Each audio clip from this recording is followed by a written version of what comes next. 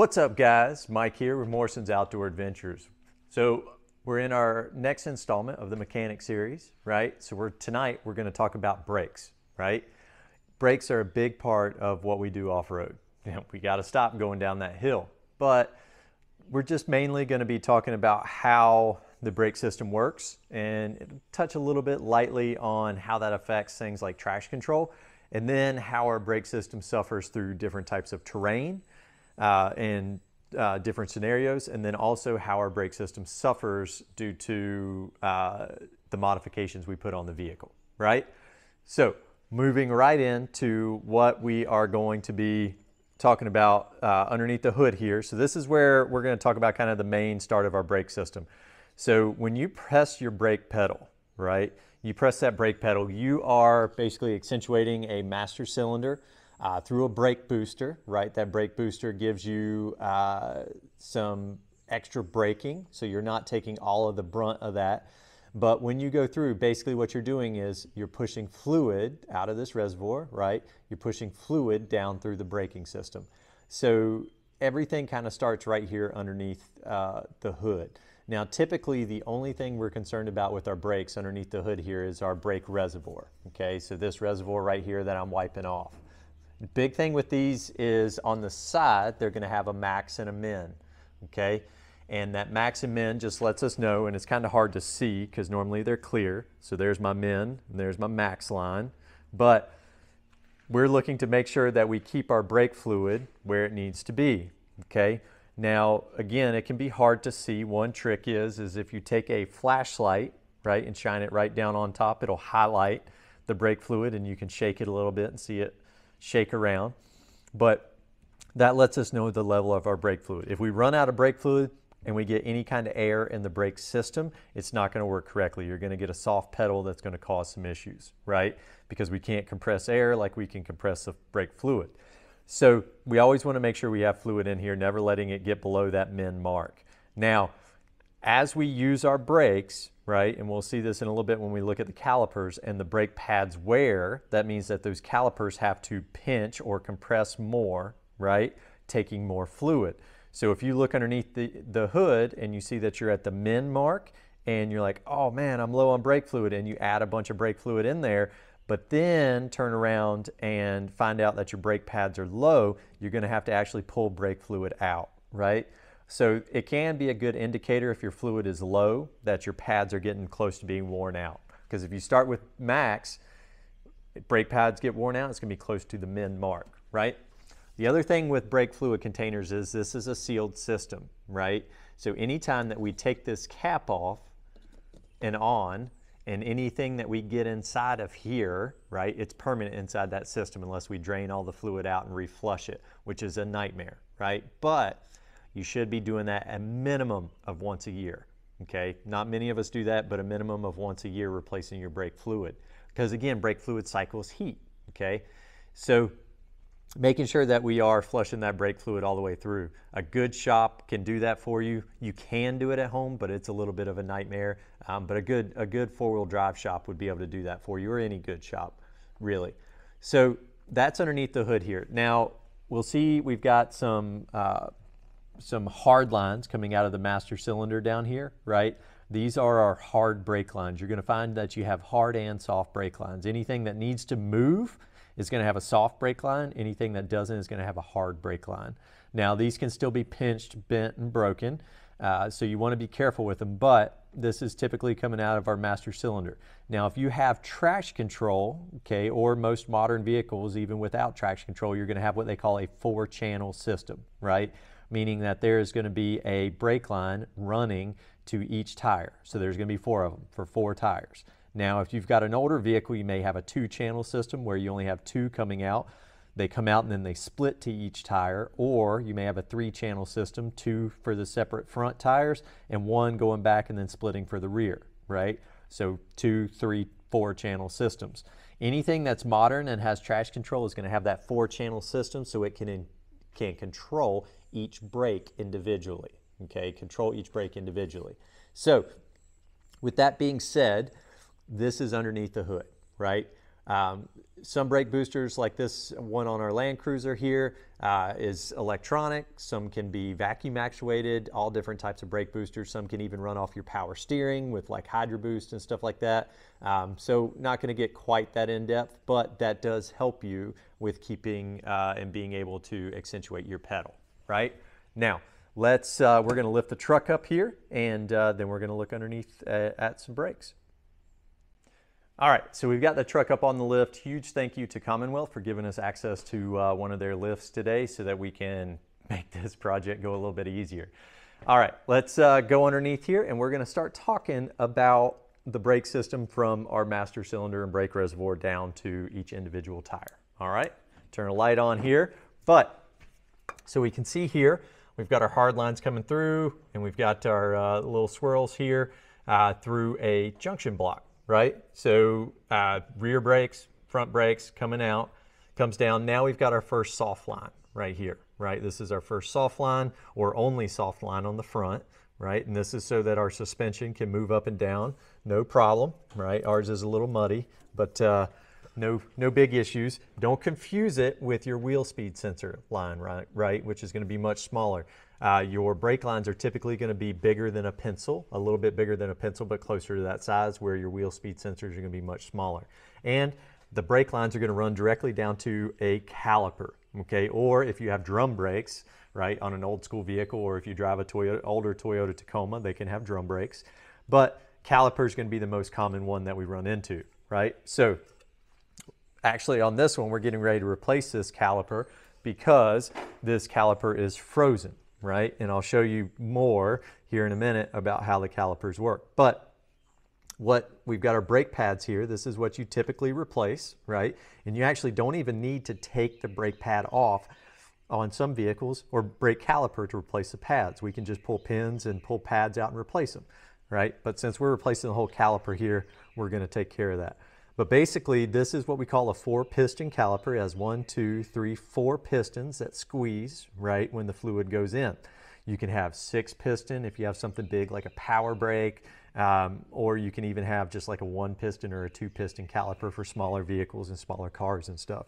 Now, one thing uh, to take into note, you can see how this one is kind of corroded, right? These pins right here have some corrosion on them and they have some dirt and grime we want these pins or these brake pads to slide freely. If they can't slide freely back and forth, then our brakes aren't going to work efficiently. We can either not be able to get any braking out of it, meaning they can't close, or they can't separate, meaning our brakes are going to drag, which is actually what's kind of happening on this one. We can see how it's a little harder to spin here, right? And we can go very easily to freely spin the other one. So our uh, not only are our pins sticking a little bit, but our uh, uh, pistons are not backing off after we release the brake pressure because they have a little bit of corrosion on them. You're also going to have a uh, bleeding uh, valve right here that you can open up and bleed brake fluid out of so we can bleed the air out of the system.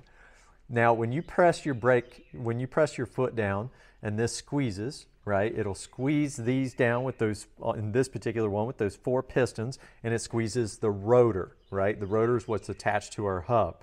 So that rotor is what's going to slow everything down, okay? Slowing that hub down as that brake is pinching it. Builds up a lot of heat, which we'll talk a little bit more about here in a little bit, but the rotors are a wearable item too. If they experience too much heat, they can become glazed, cracked, they can even uh, get warped. So when you hit your brakes, you're going to feel a shimmy.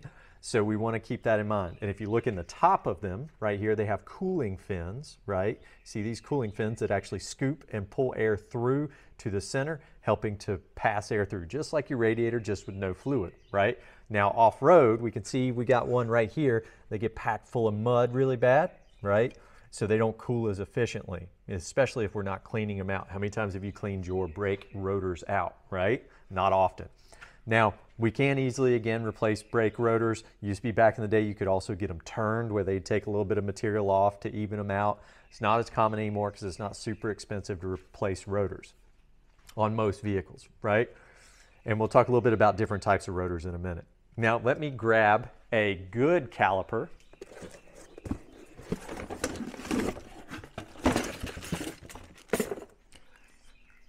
So here's a good caliper, right? So we can see the pistons on the inside here. So these are the pistons that accentuate and they squeeze shut, okay? And they will move freely now. On this particular one, we have what we call a banjo nut. So this banjo nut is what allows the fluid to go in, right? The fluid actually passes through a little port in this banjo nut once I get it out here. So we can see it's hollow, right? It's got little holes in it and it's got a little collar that goes around it. But we can see this one is definitely much, much cleaner um, and we don't have the corrosion or anything so that these pistons can close down. And I'll, I have new pins, right? That'll go with it. So we'll have pins and they're nice and clean so that they'll slide freely and the brake pads can slide and do what they need to do. If you don't have new pins, you can take your old ones out. Don't get on them with a grinder, right? But like a wire wheel or something that's not going to remove material, but it can clean some of that corrosion stuff off, you can do that uh, and clean that pin up to get it to work correctly. But that is a new caliper. We even comes with a new bleeder screw and all that good stuff that we're going to add on here. Now, let's uh, go to the back and we will look at some uh, calipers in the back. All right, so we've already got the old caliper off on the rear here and we've got the new one on. So this is what we call a single piston caliper, right? It just has a single piston here on the inside and actually the whole unit slides on these slide pins back here, right? So technically it's two piece. You've got the bracket, right, that bolts on and then you've got the caliper that actually bolts onto the bracket with slide pins. So same thing, we've got to keep these slide pins clean. That's actually what happened with this one is these have gotten corroded and messed up. So they got froze up and they're not releasing. So we need to, to get a new caliper on there. We could probably pull them off and clean them up, but again, this caliper is probably as old as this truck, so 1999, or uh, maybe a little bit newer, but not by much. So we've already pulled this one off and got our new one on, and I didn't have to replace brake pads, so I still have my original brake pads on there. Now, you do have a sight tube through here that you can look in to see uh, where your brake pads are at so you can see whether they're extra worn, you need to replace them, so forth, blah, blah, blah, blah, blah, right? Now, banjo bolt, everything on this one's connected. One thing you can do if you want to make sure that uh, your braking system is going to work correctly is you can lube these pins with something. But being a brand new caliper, I'm not super worried about them getting uh, froze up. It's probably already greased in there and we have these rubber boots to protect everything. So this one is all tightened up, ready to go. We're just going to have to bleed the brakes and get it working. All right, so uh, how do different types of terrain affect your brakes, right? Well, not all terrains are going to affect your brakes. If you're in rocks and stuff like that, other than using your brakes, right, there's no real effect on them. If we start going through things like sand, right, so sand will actually polish a lot of your brakes if it's getting up into your brake system, but it'll also cause your uh, pads to wear much more quickly, right, because you, now you're getting sand and grit in there, and when they close down, they can cause some issues. Mud is the biggest downside to our brakes, right? We get mud caked in here. It's really hard to clean them when they're still on the truck. So we can still see we've got a little bit of mud in there and stuff. The pins are pretty dirty on this and corroded. We're gonna have to clean those out to get them to accentuate correctly. Um, but mud stays in there, causes corrosion. It also can get really hard packed and cause some issues uh, with those uh, pads sliding correctly, right? So mud, right? Boo. Also, mud can get inside of that rotor, those cooling fins like we talked about earlier, and ca cause some issues there. Because um, if they're packed full, they're not going to work effectively. So the other thing about rotors I want to talk about, there's, there's some, some controversy out there, uh, and I'm going to share my opinion or my experiences rather on rotors. So you can get what they call cross-drilled or slotted rotors. What does that mean? Well, cross-drilled rotors, they actually drill through the rotor, okay, and they punch holes in it. This is a race technology, right, to help the rotor cool so air can actually move through it. So as it comes in the cooling fins, comes out, it's able to move more air through. Works great on a racetrack, right? But for those of us that drive off-road, it's another thing that's gonna get packed full of mud, okay? And how do they make clay bricks or how they make bricks with heat and mud, right? and, and different materials. So brakes get super, super hot, super hot. Um, even on like race vehicles in the Dakar, talking with some some of the best uh, uh, brakes in the industry, like Power Brake, those brakes get so hot that the mud stuff that's in the caliper, when they get super cooled, crossing rivers and stuff like that, it actually turns to glass, right? So, you know, that's how hot a braking system can get. Now, that's on race trucks. We're not on race trucks, but same concept applies. So I don't do the cross drilled rotors. Now, slotted rotors, however, is much uh, much better process because slotted rotors just have these grooved out lines in them right? These are not slotted rotors but slotted rotors will have a grooved out line in them and they will allow again some air to pass through and they also allow some brake dust and debris and stuff to get off the off the rotor. You can't pack those full of mud right? I'm sure you could if you tried hard enough but most of the time you're not going to. So we want to make sure that we're not getting cross-drilled rotors for off-road rigs, but slotted rotors are a good thing to go with. One thing you can do if you go to like a, a, power brake setup, and we'll talk a little bit more about them in a minute, but with a power brake setup, you can get a, a bigger caliper, like a six piston caliper, where you're gonna have a much bigger uh, pad. Now, a bigger pad is not necessarily gonna do anything for you without a bigger rotor, right? So let's talk a little bit about how brakes struggle with their aftermarket stuff, right? All right, so when we start modifying our vehicle, right? Um, well, let's start. When we buy a stock vehicle, completely stock, and it's got a you know 30 inch tire on it, a light P-rated tire, or even if it is a, a, a LT tire or something like that, and uh, it's just a all season or highway tire, super lightweight right? So weight does play a part in how this rotor can stop. It's got a lot of rolling mass with just the tire here, okay, a lot of weight. But the biggest difference is when we go with a bigger tire, right? So we start getting a bigger tire that is much wider or taller, right? Now you've still got the same size rotor. It doesn't have the leverage to stop all this weight that's out here at the end. Not to mention now we've gone with a bigger tire that's heavier Maybe you've changed rims and you've got a much uh, uh, heavier rim. Now we're starting to see, right, where we're starting to run into those issues, okay? And the rotor is becoming uh, insufficient to slow the vehicle down properly. Now, if we're just making some changes with tires and wheels, we're probably not going to notice a big difference. But when you start adding all the weight of bumpers and uh, uh, skid plates and winches and recovery gear and then your camping gear and stuff too, this is where we're going to see that difference. Okay, this is where we're going to start to see the problems in our brakes and see them struggle with stopping these bigger tires. So we have that increased stopping distance. And with that increased stopping distance and the increased pressure needed to slow all that down, we're going to get a whole lot more increased heat building up, right, on this uh, rotor. So we can run into more issues with that warping, right? Or the cooling fins being insufficient to cool it down, especially if they're packed full of mud, um, or your brakes not working as long. Or you could even have brakes that overheat, right? Just like a semi truck or something like that, and they can have issues going down the road, okay? So typically, we do recommend, and we know it's not the coolest modification ever, but we do recommend a brake upgrade, especially if you've changed to uh, some heavier bumpers, and a bigger tire and wheel combo. Um, so brake upgrade wise, there are a lot of options on the market. There is a lot of smoke and mirrors, right? Just a big upgrade kit does not fit the bill and solve the bill. Remember what I said earlier about needing a bigger rotor, right? If we get a taller rotor that will give it more leverage to be able to slow down this tire, that's huge, right? And maybe even more surface area for a larger pad to clamp down. And if we can get something like a six piston, if you have a four piston caliper going to a six piston caliper uh, with a bigger pad, we'll make sure that that pad, when it clamps down, distributes that load evenly around that brake. And also with a bigger pad, it's more distribution of heat being put down onto that rotor, right?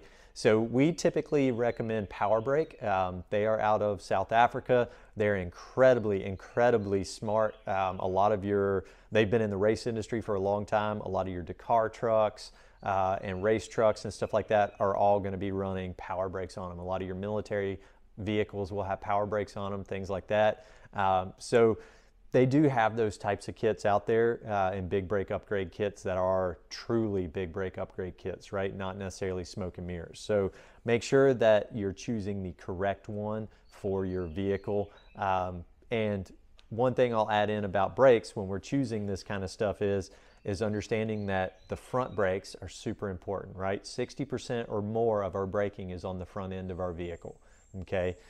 When we are traveling forward. So when we're going down a hill, all that braking is on the front end. When we're uh, navigating through rocks and stuff like that, a lot of that braking is on the front end. But when we're backing down a hill or we're stuck on a hill and we're just sitting there, we do have a lot of brake pressure on the rear. So make sure you're choosing those brakes accordingly um, and making sure everything fits into place. All right, ladies and gentlemen, I'm to make sure uh, to get this uh, Land Cruiser finished up, get my brakes back working. We've got to get to an event this weekend. Um, but thank you for joining us and listening to me talk a little bit about brakes. I know it's not the coolest subject ever, but it is an important one because it's a safety subject right? So uh, if you have any questions or anything like that, again, feel free to leave a question down in the comments or send us a, a, a question through email or text, and uh, we'll do our best to answer it. But thank you guys for hanging out with us. Make sure you like, comment, share. Uh, tell your mom, dad, brother, aunts, uncles, dentist, dog's hairdresser, it doesn't matter. Every little bit that you do to help us get our information out there helps us build our business and our brand. So thank you so much, and we will see you next time. Bye.